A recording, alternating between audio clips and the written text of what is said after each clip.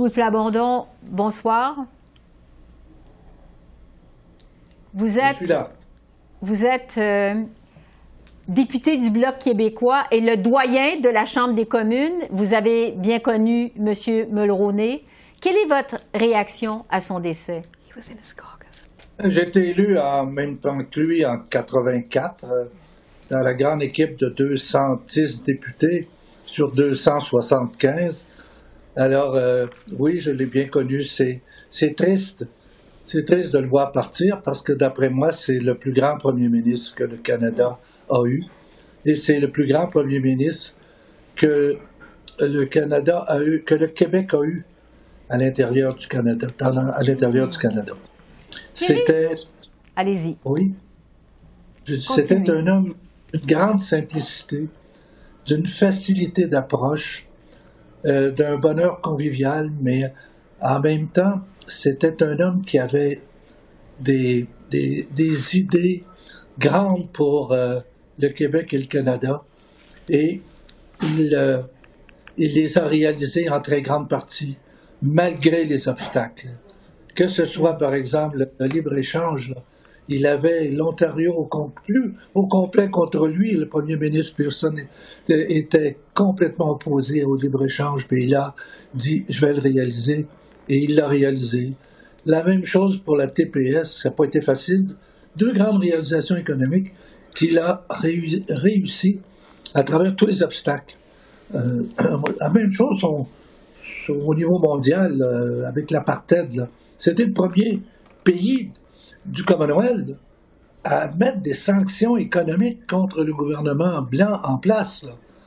Alors c'était euh, c'était un homme de vision, un homme aussi qui avait de, je disais, de grandes idées, puis rien ne l'arrêtait pour les réaliser. J'ai admiré cet homme-là et c'est l'homme qui a fait le plus, le premier ministre qui a fait le plus pour pouvoir donner un accès au Québec à l'intérieur de la Confédération. Il avait fait son grand discours de cette île, le Québec reviendra dans l'honneur et l'enthousiasme. Il a tout tenté pour réaliser cela. Malheureusement, il a été, euh, il a été empêché par euh, d'autres personnes qui avaient des intérêts plus personnels que des intérêts pour le Québec. Oui. Euh, on dit que l'accord du lac Meach a été sa plus grande déception, que ça n'a pas passé finalement. Qu'est-ce que vous avez retenu de Brian Mulroney par rapport au lac Meach, à l'accord du lac Meach? J'ai j'ai retenu qu'on ne pouvait pas faire plus d'efforts que lui a fait. Il a tout fait pour arriver à, à ce que cette euh, entente se réalise. Et euh, à la fin, moi, quand j'ai réalisé que avec un homme aussi dévoué, aussi compétent, aussi perspicace, ça ne pouvait pas passer. J'ai compris que, comme je l'avais dit à ce moment-là, que si c'est pas une société distincte, ce sera un pays distinct. Et j'ai quitté, à regret. J'avais énormément de peine de le laisser, de laisser parce que je trouvais qu'il avait été sincère envers le Québec et qu'il avait tout fait pour le Québec. Mais Ça vous avait- il avait, il avait aussi fait aussi la démonstration que c'est impossible de réconcilier les deux, les deux nations. Oui. Euh, Qu'est-ce que vous retenez justement de ça quand même? C'était important. Bien, oui, euh, je retiens, je, je retiens une grande déception parce que je pense que le lac Mich est ex- extrêmement, euh, extrêmement apprécié au Québec. Puis c'est un traité où, par exemple, il y avait la clause de société distincte qui était une clause interprétative, ce qui aurait permis au Québec de se retirer des programmes avec lesquels il n'était pas d'accord euh, et d'avoir une compensation financière ce que, le Québec essaye encore présentement sous le gouvernement Trudeau. Ça aurait été tout, aurait été possible et ça aurait été euh, faisable euh, de façon très pacifique avec le reste du Canada, puisque tout aurait été inscrit dans la Constitution et non pas dans le préambule. Tout le monde euh, souligne euh, sa grande civilité. Euh, je disais d'entrée de jeu, vous êtes le doyen de la Chambre des communes. Euh, Avez-vous l'impression, le sentiment qu'on a perdu un peu de cette civilité-là de Brian Oui. Mulroney?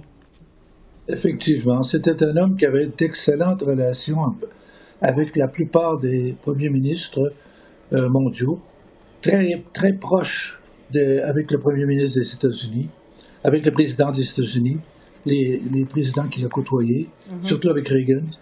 Et en même temps, c'était un homme facile d'accès, très, très convivial, qu'on pouvait voir quand il, entrait pour la période de questions. Il saluait tout le monde, s'informait d'un, s'informait de l'autre. J'étais une fois au téléphone avec une dame de, organisatrice de mon comté. Alors il passe, il dit Avec qui tu parles? Moi je le regarde, je dis C'est une organisatrice de mon comté, passe-la moi.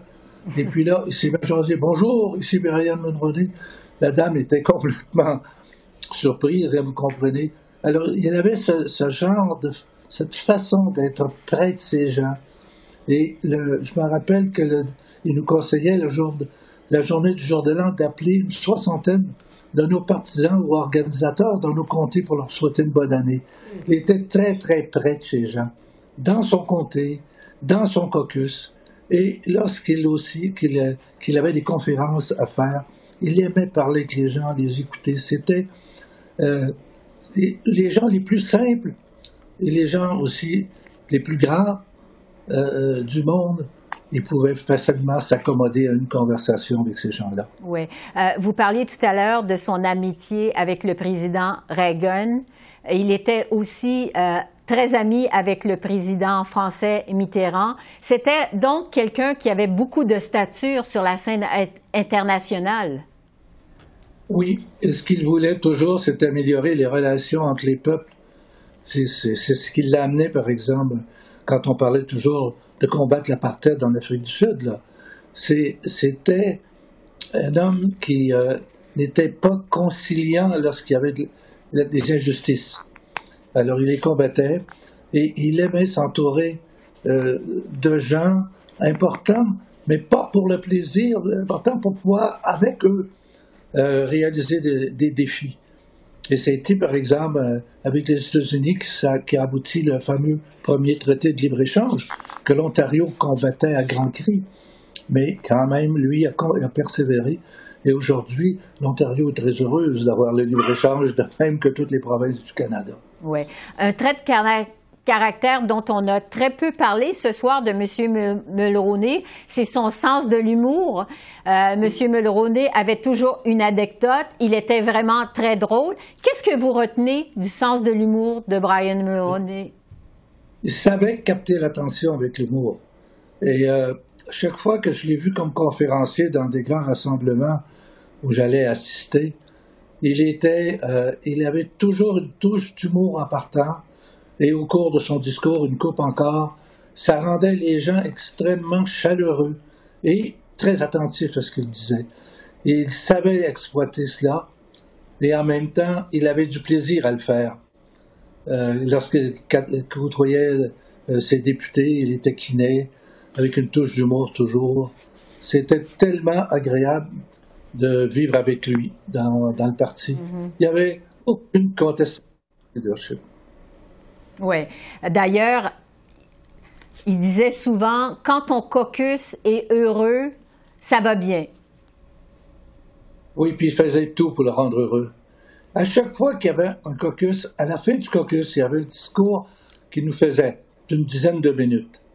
Et à chaque fois que le discours finissait, il recevait une ovation debout de la part des 200 membres du caucus. C'était, on se croyait en campagne électorale à chaque fin de caucus.